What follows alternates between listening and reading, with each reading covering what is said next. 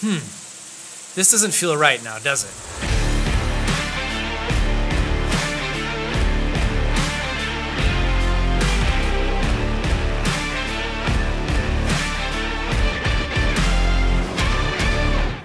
Howdy everyone, in this video we're going to be talking about the relationship between video and shutter speed. Now, you choose your shutter speed and you're going to be choosing it differently when you're recording a video than you would when actually taking photographs. Now, what does that mean? Now, as you probably know, a video is actually a series of images shown rapidly, one after the other, coming at you rapid fire that our brains then connect and create into one seamless image.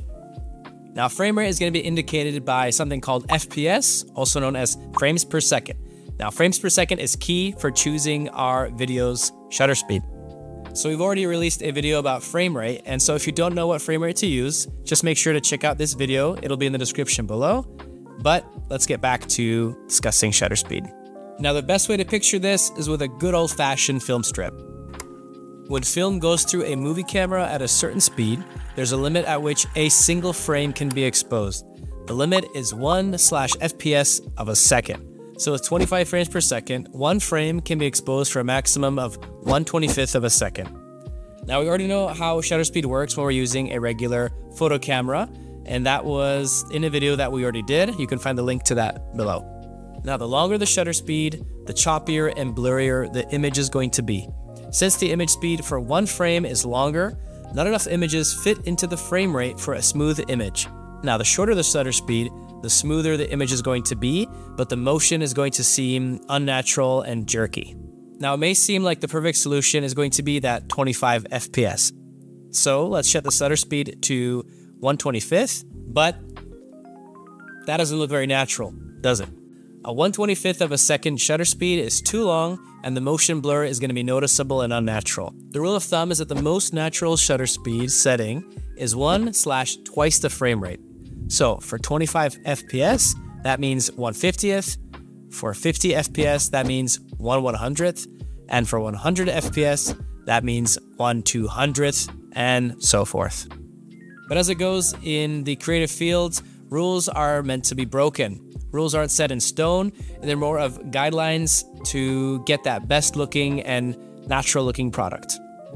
Now, the rule can be bent or even broken for artistic purposes. For example, if I want to get feelings of sort of like, like a dreamy feeling or even something intoxicating, I'm going to intentionally set a longer shutter speed, like 125th or slower. Now, if I want to dramatically slow down my video, I'm going to set a shorter shutter speed so that every single frame is as sharp as possible. Or if I'm shooting at up to 50 FPS and I want the image to be virtually indistinguishable from 25 FPS without slowing down, I'm going to keep the shutter speed at 150th.